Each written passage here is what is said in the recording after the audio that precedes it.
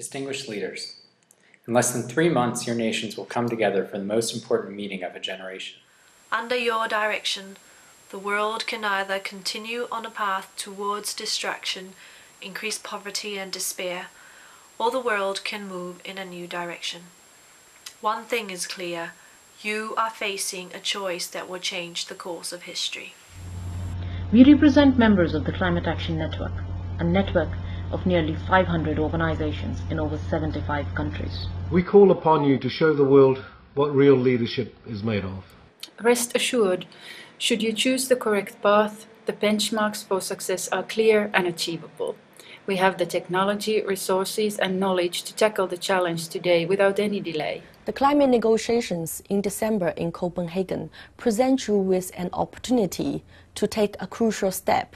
We call on you to agree to a fair, ambitious, and binding agreement. The building blocks of a new planetary deal to overcome the threat of climate change are well known.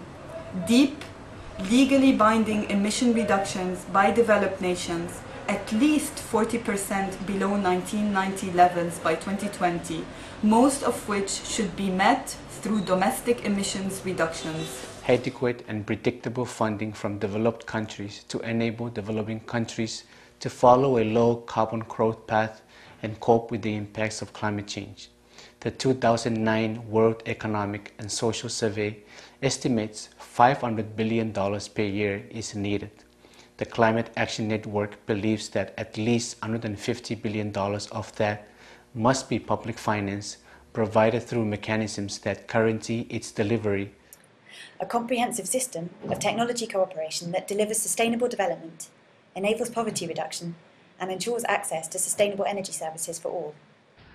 A global adaptation action framework that massively increases support to vulnerable developing countries so they can reduce their vulnerability and build their resilience to climate change, manage loss and damage from the impacts of climate change that we know are now unavoidable. A commitment to continually and rapidly adjust world climate change action in line with the latest findings of science, and to do this through five-year commitment periods and binding reviews based on science.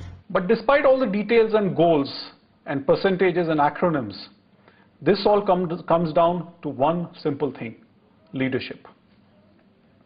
Will you choose to be a leader? Will you choose to hear growing murmurs from vulnerable nations and peoples before they become screams? Luckily, this time the path forward is clear.